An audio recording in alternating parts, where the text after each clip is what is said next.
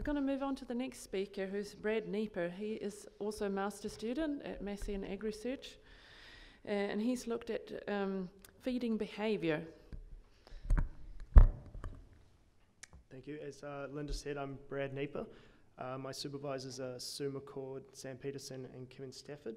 And today I'll be talking about the rumination and feeding behaviour of artificially reared dairy lambs with or without early access to meal, which was the same project that Amber was involved in.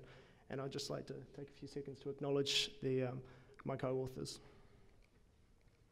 So first thing, um, large-scale sheep dairy farms in New Zealand employ artificial rearing. Now this is, this is important to them as it helps to improve survivability of lambs as well as maximise milk production for human consumption.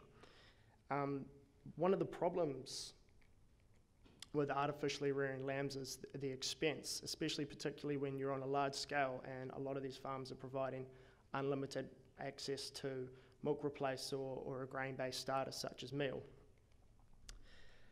Um, it is important though to provide uh, early access to solid feed as it helps to stimulate rumen development uh, particularly, as I said, the provision of meal. But what we were looking at is to see if we could change meal and replace it with uh, early access to pasture and see if we could, that would be beneficial and would help in reducing the costs. So my aim was to look at the rumination and feeding behaviour of the artificially reared lambs over the 12 weeks of its life with or without early access to meal to see the effects that it has on uh, the changes in behaviour so into the methods, as you can see, and as Amber explained before, we have the two groups, meal lambs or no meal lambs, and I'll refer to them as uh, M and NM. And we had the, the four different periods where they were reared inside for period one for three weeks, and then outside for another nine, uh, nine weeks with three different periods. And the three major transitions that they went through were moving outside and having access to pasture then, uh, allowing the meal lambs to have milk, meal, and pasture, and while the no meal lambs had uh, pasture and milk. Uh, once they were weaned off milk, uh, meal lambs still had access to meal, obviously, and the no meal lambs only had pasture, so they were effectively weaned onto pasture at an early age.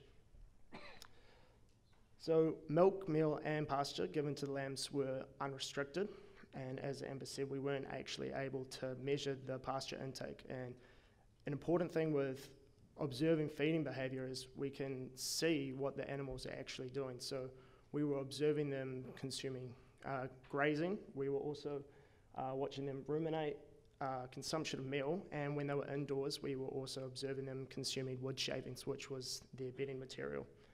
Um, the weeks that we recorded were week 2, 3, 5, 7, 10, and 12. And these weeks coincided before and after the major transitions that the lambs went through. I recorded for a total of nine hours uh, per week of recording uh, in 10 minute intervals with every lamb behaviour of the 60 lambs recorded.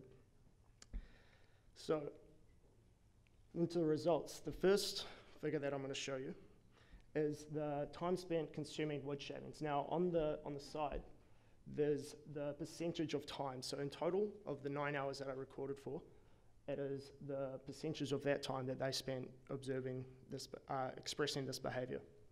So in week two, we see that both uh, groups were observed consuming wood shavings. Now, this also coincided with the ability to them, for them to start consuming solid feed. So we weren't surprised that this was happening. But the meal lambs also had access to meal. So when week three, when they're growing a little bit more, you can see that the uh, meal lambs decrease their uh, consumption of wood shavings or time spent consuming wood shavings. This also coincided with an increase in time of them spent uh, consuming meal. Now, since the lambs without meal obviously had nothing else to substitute for solid feed, they began eating the bedding. So you can see that they increased their time spent consuming this bedding, and in week three, it was, it was a significant difference in time spent consuming. Next, we have the observed time spent ruminating.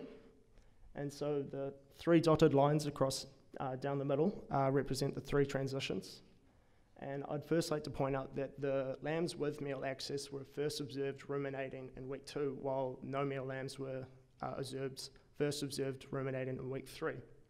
So as you can see up here, there was a substantial difference uh, between meal and no meal, with uh, meal lambs uh, spending more time ruminating in week three and five.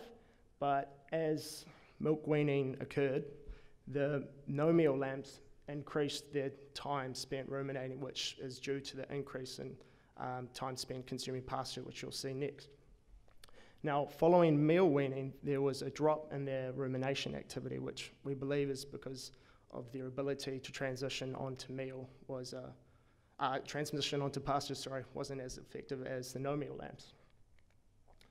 So next, the observed time spent grazing. So you can see when they first go outside was uh, week four, and we left them out there for a week to get used to consuming pasture. And so in week five, when I did my observations, there was a significant, a small significant difference between no meal and meal lambs consuming pasture, with no meal lambs um, con- observes consuming, observed spending more time consuming pasture, and this quickly increased post milk weaning to a, a, much higher time, which they uh, they maintained over the trial. And you can see that the, the meal lambs didn't increase uh, after their after milk weaning, which was potentially due to their uh, affinity towards meal rather than pasture. But as soon as meal was gradually um, taken out of the diet, you can see that they had a similar spike to uh, the meal uh, to the no meal lambs. And there was also a drop in uh, their in their past time spent consuming pasture by the end of the trial, but it wasn't significant for no meal lambs as it was for meal lambs. So to get into the discussion, Early access to solid feed supports rumen development, and that is uh, particularly important for ruminants. As you can see by my results, the early access to solid feed supported the development of rumen in meal lambs, but it also occurred in no meal lambs where they didn't have any meal, and that was potentially because of the wood shavings.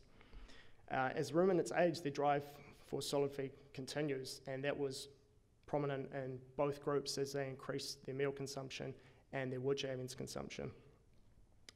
Uh, diet selection and feeding behavior can be influenced by the feed's nutritional and physical characteristics. So, what I mean by this is lambs prefer to chew on something which is high in energy or a better palatability, and that's particularly why the meal lambs continued to consume meal, while the uh, no meal lambs got pushed out onto pasture and they had nothing else to substitute, And so they just increased in that. While when the meal lambs got the meal re- removed, they they didn't like it and subsequently had a decrease. Now, the provision of meal can decrease the grazing behaviour as shown in calves, and we believe that's what's happened here with uh, the meal led to the lower um, time spent consuming pasture.